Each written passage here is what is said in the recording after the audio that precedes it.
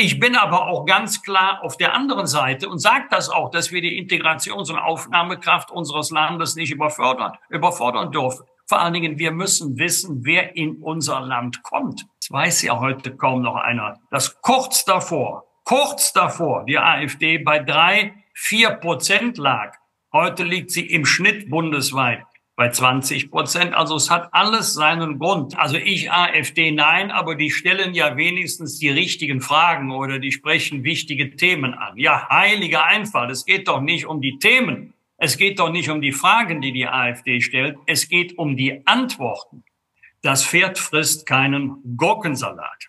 Die AfD lebt davon. Sie lebt davon, dass sie nicht eine bürgerlich-konservative Partei ist, sondern eine reaktionäre. Sie lebt davon, dass sie keinen Patriotismus pflegt, sondern Nationalismus.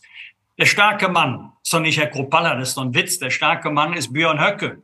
Zwei Landesverbände gelten als gesichert rechtsextremistisch. Gerade dort, wo die AfD als gesichert rechtsextremistisch vom Verfassungsschutz eingestuft wird, ist Fraktionsvorsitzender im thüringischen Landtag der Mann, den man vom Gericht erlaubt als Faschist bezeichnen darf. Wir haben ähm, vielleicht zu lange gedacht, wir sind die Weltmeister. Olaf Scholz sagt, das Originalzitat vom Kanzler, SPD-Bundesparteitag, der Wohlstand in unserem Land basiert auf dem Sozialstaat. Dann muss doch die Union dagegen halten. Der Wohlstand in unserem Land basiert auf dem Fleiß der Menschen. Das heißt, unsere Firmen können auf den Weltmärkten nicht punkten, indem sie sagen, wir sind die billigsten, sondern wir sind die besten.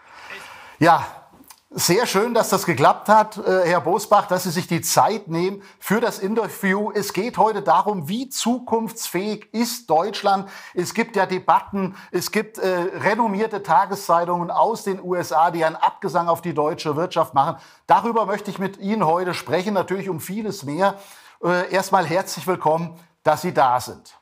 Ja, danke für die Einladung. Schöne Grüße an den Aktienlust Stammtisch. ja, Herr Bosbach, natürlich viele äh, Zuschauer, die interessiert natürlich, wie geht es Ihnen? Natürlich, wir wissen alle ein bisschen um Ihre gesundheitliche Situation, aber Sie machen hier eigentlich einen, einen ganz äh, munteren Eindruck.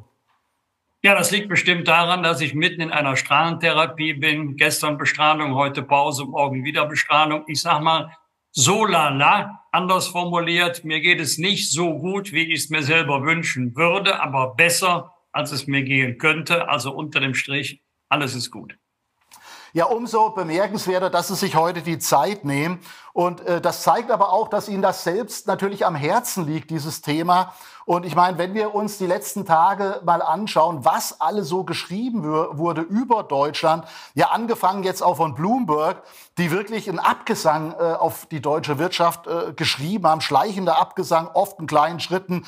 Investitionen werden äh, zurückgeschraubt, Konzerne verlagern ihre Produktionsstätten ins Ausland. Vorher schon die New York Times, äh, die wirklich auch innerhalb der EU Deutschland für verantwortlich macht, dass es wirklich um die EU selber schlecht bestellt ist, dass der Abstand zu Amerika, zu Asien immer größer wird. Und äh, jetzt hat selbst der Wirtschaftsminister gestern noch mal nachgelegt und hat eingeräumt, es steht um unsere Wirtschaft katastrophal.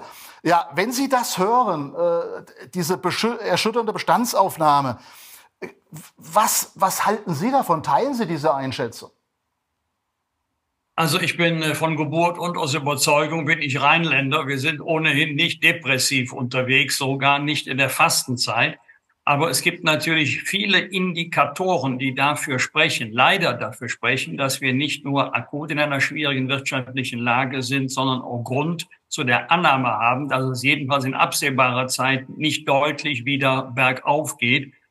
Wenn wir das schwächste, schwächste Wirtschaftswachstum von den G7-Staaten haben oder nehmen Sie mal einen ganz anderen Bereich, äh, der Wohnungsbau, der in weiten Teilen da niederliegt, dann ist das eine Seite der Medaille. Die andere Seite ist, wir haben gerade vor wenigen Stunden die Nachricht bekommen, Microsoft investiert in Deutschland, genauer gesagt hier in der rheinischen Nachbarschaft in Nordrhein-Westfalen, über drei Milliarden Euro in ein neues Rechenzentrum. Also wir sind in einer schwierigen wirtschaftlichen Lage. Das stimmt. Wir sind auch das Gegenteil einer Konjunkturlokomotive in Europa beziehungsweise in der Europäischen Union.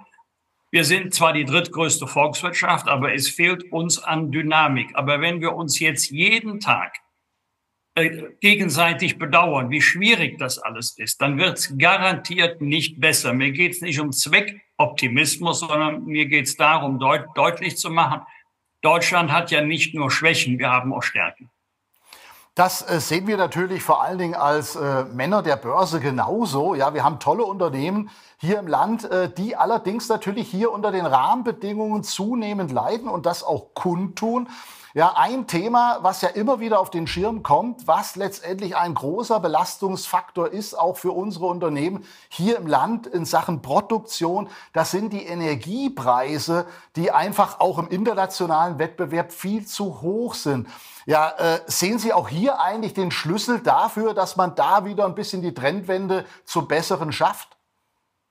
Ähm, hier, auch hier ein differenziertes Bild. Es gibt Betriebe, da äh, ist die Energiepreisentwicklung jetzt nicht das Problem Nummer eins. Sie haben ganz andere Probleme. Der eine beklagt den Fachkräftemangel, der andere beklagt überbordende Bürokratie. Und dann gibt es wiederum Unternehmen, für die spielt die Energiepreisentwicklung auch eine sichere Energieversorgung für die für, die, für, für den Standort, an dem sie produzieren, eine überragende Rolle richtig ist, dass wir uns nicht nur die Haushaltsstrompreise betrachten müssen, sondern vor allen Dingen die Industriestrompreise, die ja wichtig sind für das produzierende Gewerbe.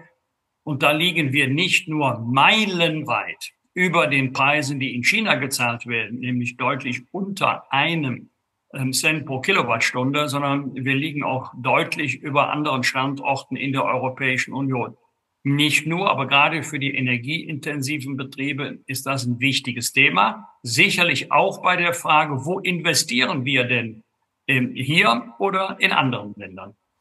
Aber wenn wir uns jetzt mal den Wirtschaftsminister äh, anhören, der sich ja gestern wirklich beklagt hat und letztendlich als Lösung nur vorschlägt, äh, wir, wir brauchen die Aufweichung der, der Schuldengrenze. Äh, und aber strukturell eigentlich keine Ideen hat und schon gar nicht auf die Idee kommt, äh, auch was das Thema Energiepreise angeht, letztendlich von diesem Kurs abzusehen, dann ist doch das schon äh, bedenklich. Und der Finanzminister schlägt ja letztendlich ins gleiche Horn und sagt, das sieht schlecht aus. Also, also fangen wir mal vorne an. Äh, von Robert Habeck stammt ja auch der schöne Satz, wir entlasten jetzt die Stromkunden, die EEG-Umlage zahlt jetzt der Staat. Äh, wer ist der Staat? Die Familie Habeck.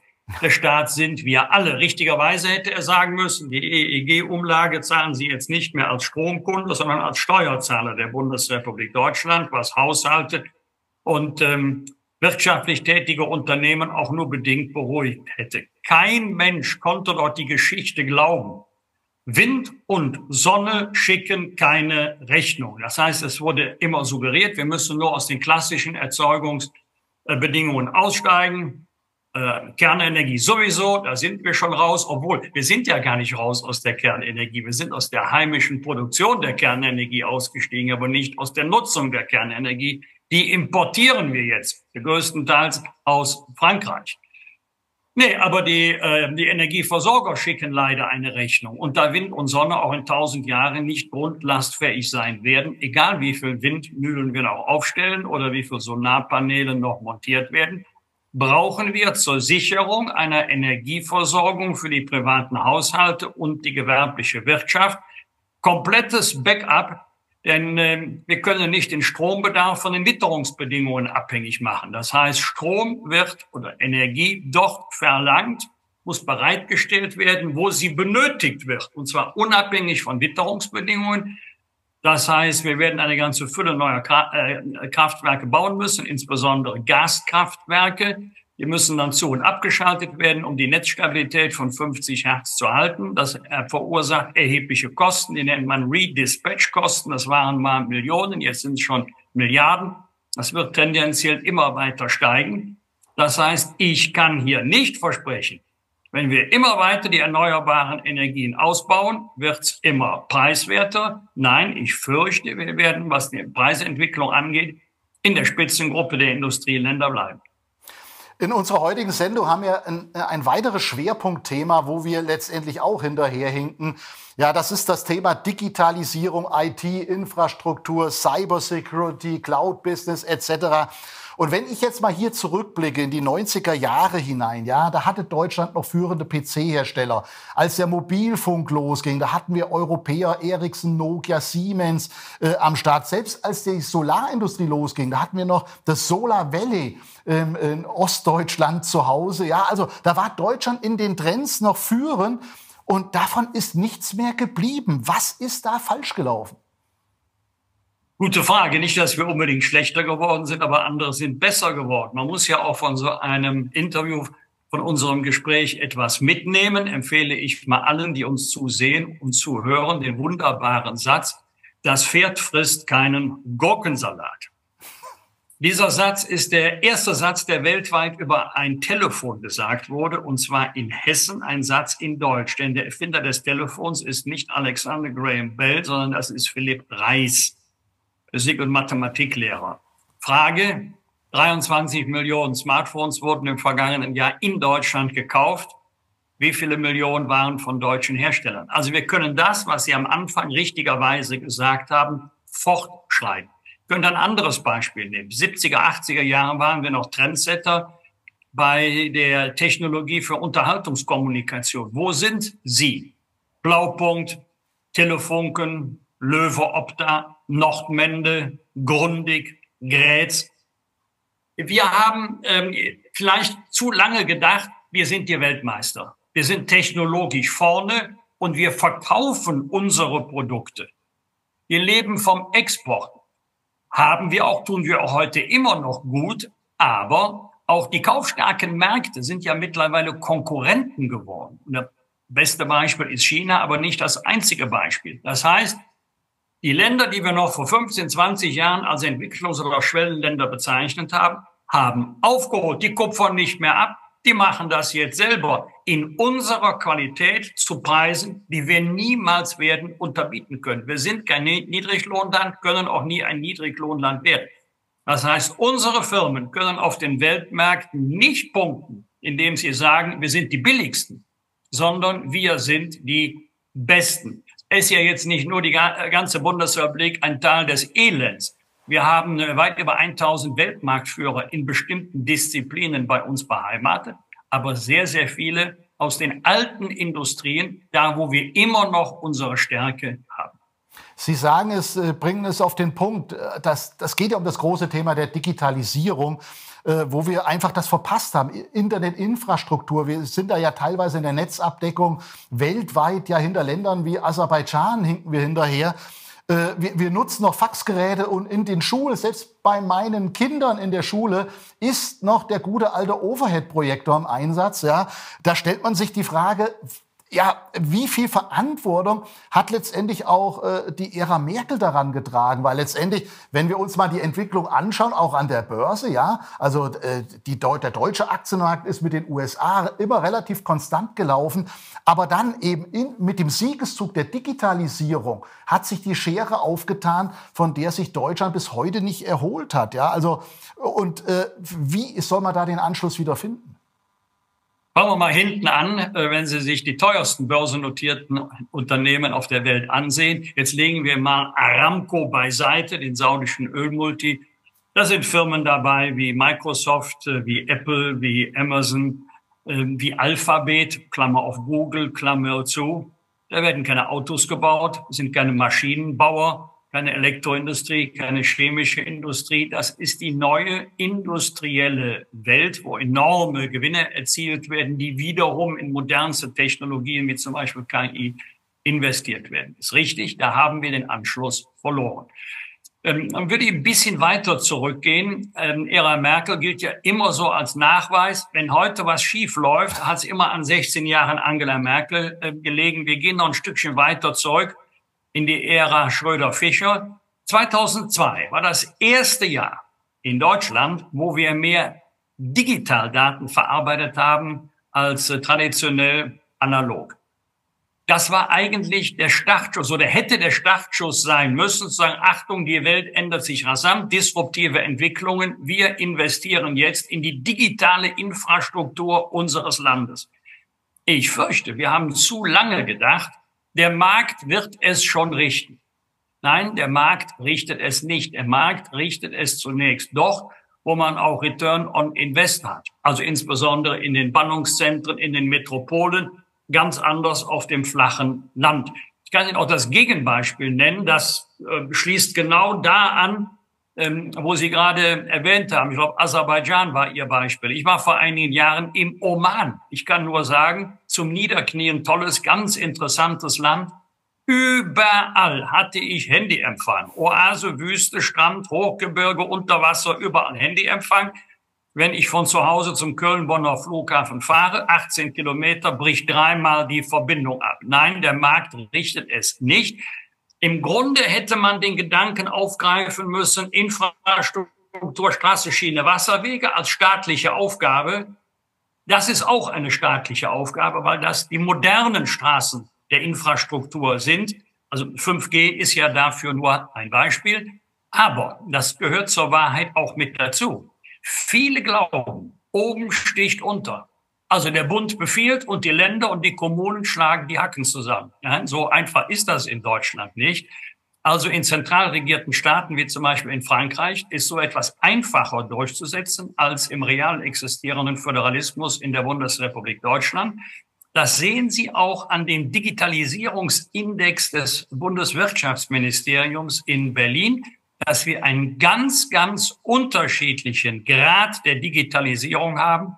Äh, Bayern und Baden-Württemberg sind dann deutlich vorne. Die neuen Länder kommen mit deutlichem Abstand dahinter. Sie sehen es übrigens auch von Branche zu Branche unterschiedlich. Ja, aber da bleibt ja die Frage, wie können wir an diesen Rahmenbedingungen was ändern? Wenn ich jetzt auch in die Start-up-Szene mal reinschaue, ja, wir erleben Großartiges teilweise in Polen, was Digitalisierung, was IT angeht. Äh, in Deutschland, wenn man sich mit, mit, äh, ja, mit Gründern unterhält, die, die überlegen jetzt schon, ja, lieber gleich den Gang in die USA oder sonst wohin zu gehen, als es hier überhaupt zu versuchen. Ja, das hat aber auch einen anderen Grund. Also wir sollten jetzt nicht unsere Start-up-Szene tot äh, reden. Es gibt ja auch in Deutschland äh, faszinierende Beispiele für gelungene neue Geschäftsideen. Ich möchte mal zwei andere Gedanken hier im Gespräch an den Start bringen. Der erste Gedanke, die Amerikaner haben auch eine andere Haltung zu Risiko, auch zur Anwerbung von Risikokapital. Da tun sich die Deutschen wesentlich schwer als die Amerikaner. Wenn in Amerika ein neues Gerät vorgestellt wird, denkt jeder Amerikaner, jeder kann man damit Geld verdienen. Machst du das Gleiche in Deutschland? Denken wir alle, was kann passieren, wenn ich das benutze und wo kann ich mich gegen einen Schaden versichern? Wenn mal bei uns, und das wissen Sie doch auch, nicht jede Idee ist die Rakete. Da ist auch mancher Knallfrosch dabei. Der Amerikaner würde sagen, der hat's versucht. Der ist wenigstens mal ein Risiko eingegangen. Er hat's mal probiert. Wir Deutschen würden schnell dazu neigen zu sagen, er ist gescheitert. Also diese Aufbruchmentalität, komm, wir machen das mal, wir riskieren das mal. Das würde ich mir unserem Land wünschen und dass wir mehr Risikokapital akquirieren können. Nicht jede Geschäftsidee wird ein Erfolg. Aber wenn von drei Ideen eine oder zwei ein großer Erfolg wären, hast du den Verlust von der anderen Idee schnell wieder reingeholt. Herr Bosma, wir werden gleich noch über weitere Themen sprechen, die natürlich auch dazu beitragen können, dass es in unserem Land wieder dynamischer vorangeht. An dieser Stelle schalten wir aber erstmal zurück in den Fuchsbau zu unserer Diskussionsrunde und werden natürlich auch Ihre Gedanken hier aufgreifen, die ja doch auch Hoffnung machen, dass wir hier äh, auch in Sachen Digitalisierung, Internet nicht alles irgendwie schon äh, aufgeben müssen, sondern vielleicht mit neuen Konzepten vorangehen. Also an dieser also wenn Stelle ich da schon mal ein, ein, ein Praxis, äh, praxisnahes Beispiel äh, einpflegen darf. Äh, ich habe vor einiger Zeit gelesen, Indien ist uns in Punkten Digitalisierung 20 Jahre voraus. Meine Frau und ich bemühen sich seit Wochen darum, online ein Visum für Indien zu bekommen. Wir haben schon ein paar hundert Euro ausgegeben, aber immer noch kein Visum. Also es ist auch jetzt nicht so, als, als wenn wir jetzt hier das Schlusslicht der Welt sind und andere Länder sind uns mit sieben Meilenstiefeln vorangeeilt. Äh, kommen wir aber zur aktuellen Situation, also und natürlich auch zur Union.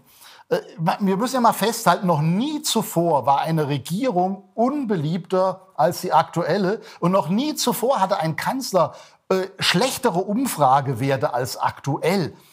Und trotzdem muss man sagen, äh, ist das, was die CDU, die Union letztendlich daraus holt, ja eigentlich eher enttäuschen. Also normalerweise bei diesen Steilvorlagen, die die aktuelle Regierung liegt, müsste die, die Union eher bei 40 Prozent und mehr liegen. Und äh, da muss man sich die Frage stellen, woran liegt das? Und, und kann es daran liegen, dass einfach die Bürger den Eindruck haben, äh, okay, wenn ich die Union wähle, habe ich jetzt auch nichts Großartiges anderes, als wenn ich jetzt SPD oder Grüne wähle. Also diese, diese zunehmende, ja auch der, der Linksruck, das kann man ja schon sagen, unter Angela Merkel, also wo viele Leute eigentlich sich bei der Union auch keine großartige Wende erhoffen. Also ähm Sie nicht, aber ich bin ja groß geworden. Dafür sind Sie noch zu jung in einer Zeit. Da gab es das Prinzip der kommunizierenden Röhren. Wurde die SPD stärker, ließ die Union nach. Wurde die Union stärker, ließ die SPD nach.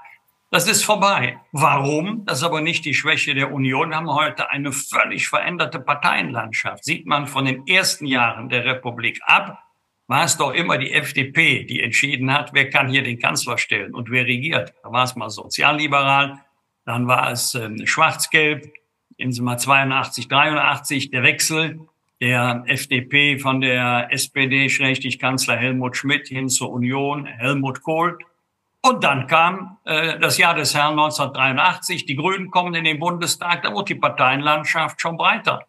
1990 Wiedervereinigung, nicht addieren, ist immer der gleiche Laden. SED, SED, PDS, WASG, Linkspartei, wurde das Parteienspektrum noch breiter. 2017 auch noch die AfD im Bundestag. Vielleicht schafft es das Bündnis Sarah Wagenknecht auch noch, die 5-Prozent-Hürde zu knacken. Will sagen, wenn wir auf der einen Seite eine Koalition aus drei Parteien haben, auf der anderen Seite eine Oppositionspartei, dann müsste es genau so sein, wie Sie sagen. Aber wenn Sie auf der anderen Seite vier Oppositionsparteien haben, das ist doch klar, dass nicht eine Oppositionspartei alleine den Frust über die Ampelperformance auf die eigenen Mühlen leiten kann.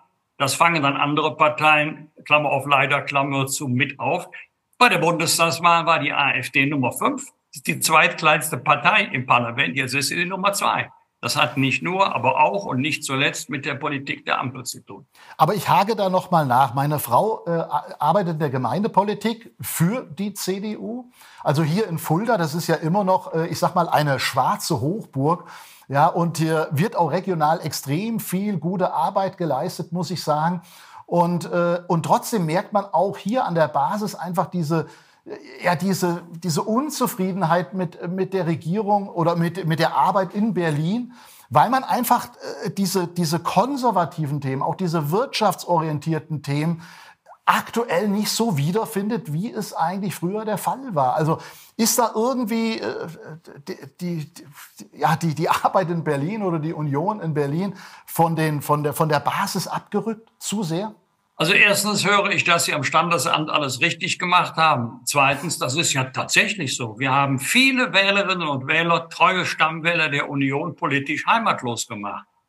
Die einen irritiert, die anderen haben dann der Union den Rücken gekehrt, sind in die Wahlenthaltung gegangen und andere haben Zuflucht bei anderen Parteien gesucht. Das ist so.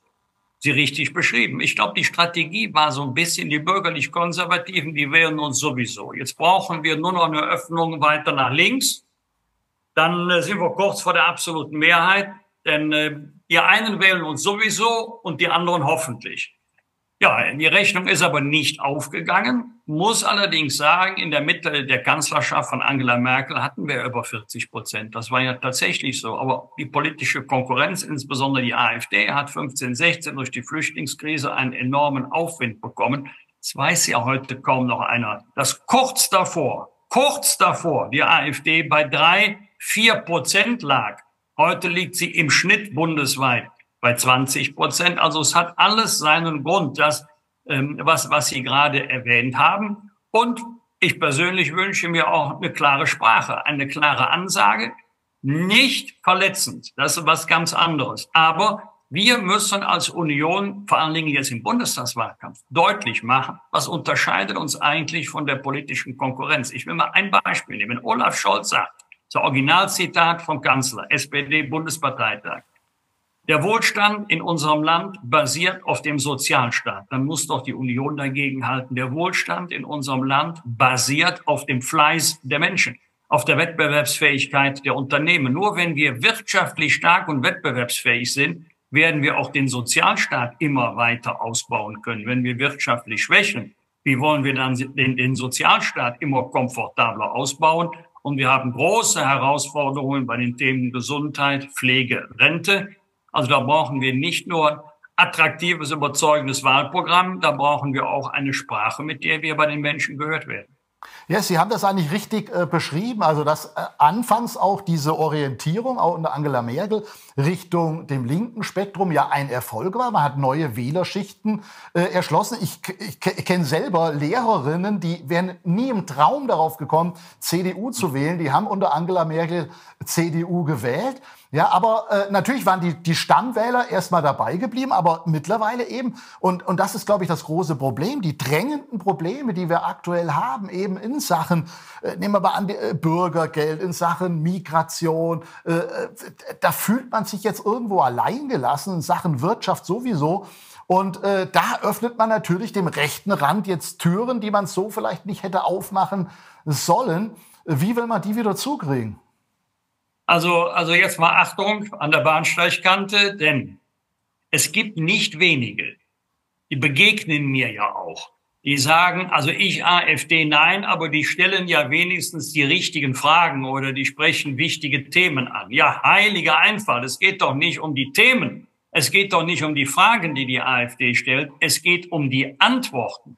Die sind erschreckend und erschüttert. Wer auch nur mit dem Gedanken spielt, dass Deutschland aus der Europäischen Union austreten könnte, ist ja komplett geschichtsvergessen. Das wäre auch eine Tragödie für unsere vom Export abhängige ähm, Wirtschaft. Und, und trotzdem ist an dem, was Sie sagen, ein Körnchen Wahrheit dran, denn es gibt auch nicht wenige, die sagen, Union, hm, ich weiß es nicht, am Ende machen sie es doch mit den Grünen. In Nordrhein-Westfalen funktioniert das übrigens leidlich. In Hessen hat sich die CDU bewusst entschieden, nein, keine neue Koalition mit den Grünen. Wir machen jetzt eine Koalition mit der SPD. In Schleswig-Holstein ist es genau andersrum. Da koaliert die Union mit den Grünen. Letztendlich dürfte es immer auf die politischen Inhalte ankommen. Jetzt äh, mal eine Frage wirklich in die Zukunft gerichtet. Ich meine, wir hatten die SED-Nachfolgeparteien, waren anfangs auch ein Tabu.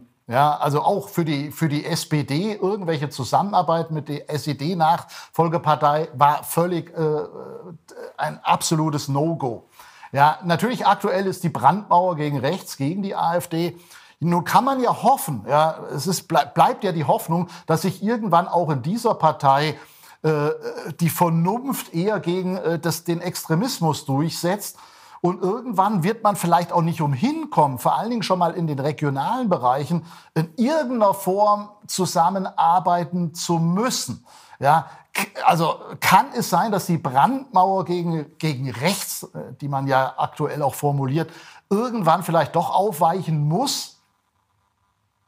Nein, nicht bei der AfD so, wie sie ist. Da bin ich also, bei Ihnen. Aber was muss sich ändern, dass sie aufweichen kann? Dann ist es aber nicht mehr die AfD. Die AfD lebt davon, sie lebt davon, dass sie nicht eine bürgerlich-konservative Partei ist, sondern eine reaktionäre. Sie lebt davon, dass sie keinen Patriotismus pflegt, sondern Nationalismus. Der starke Mann, ist doch nicht Herr Kropalla, das ist doch ein Witz, der starke Mann ist Björn Höcke.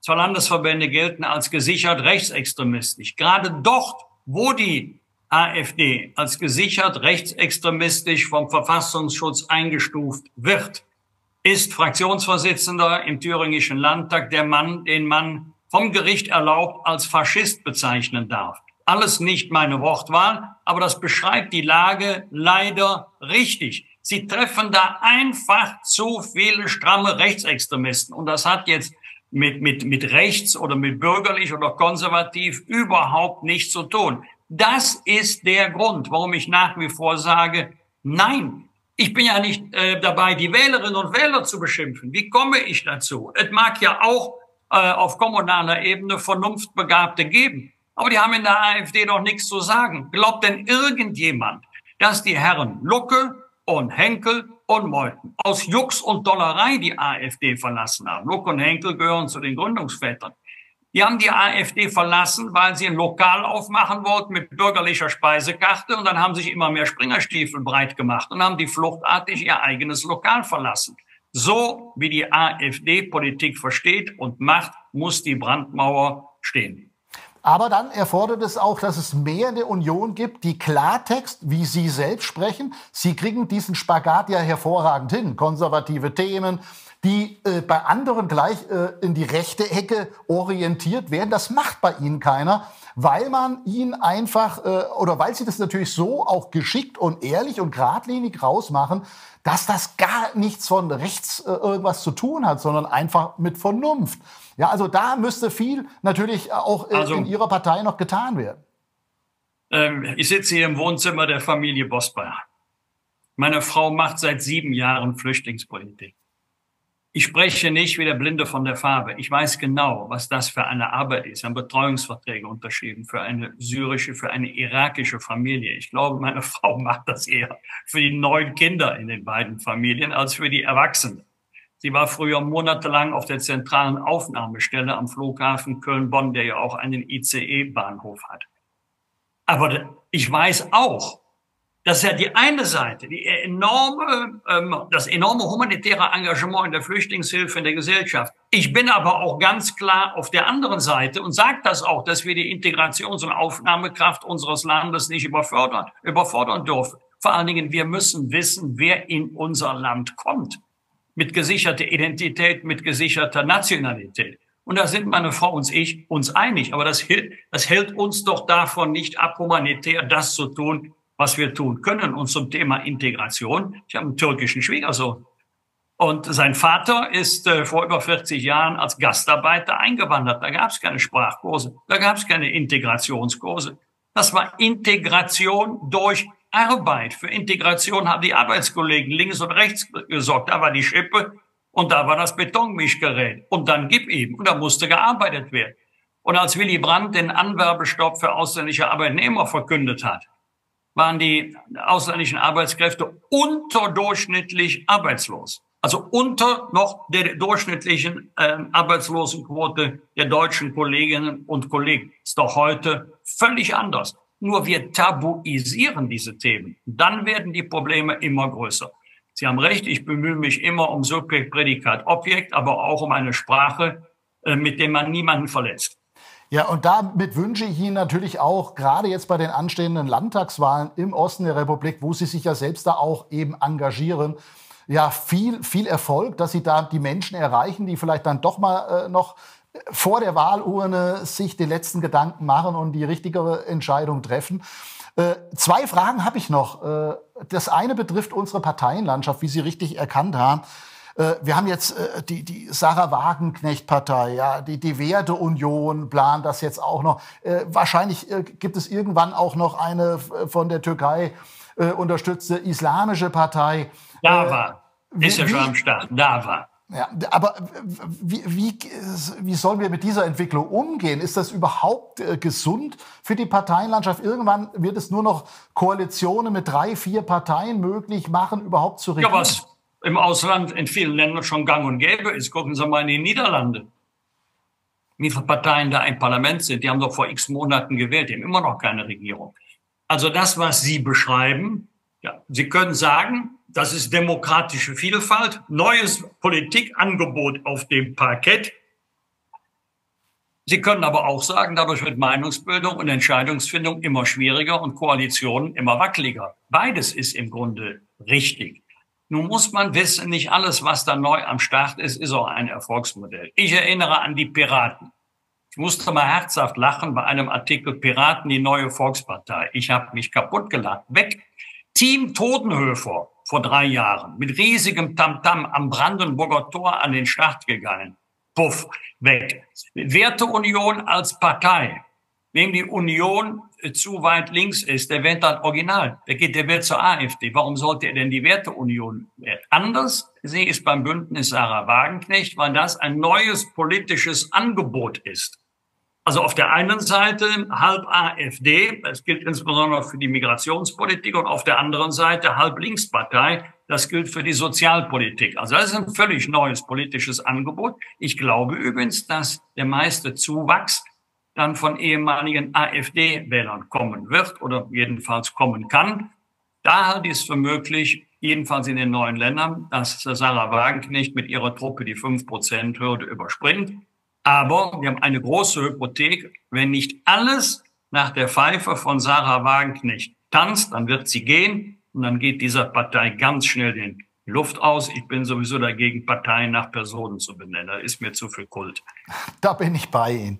Ja, die letzte Frage, die ich an Sie habe, wenn Sie jetzt äh, über die aktuelle Lage in Deutschland mal nachdenken äh, und Sie hätten drei Wünsche frei, welche wären das? Ähm, das erste ist jetzt gar kein politisches Thema, sondern ähm, das ist ein Herzensanliegen. Wer eine andere Meinung hat als ich, ist nicht mein Feind. Der hat nur erstmal eine andere Meinung. Und ein Blick in die sozialen Medien zeigt ja, ähm, mit welchen äh, Waffen doch gekämpft wird verbal. Also da findest du ja Formulierungen unterirdisch.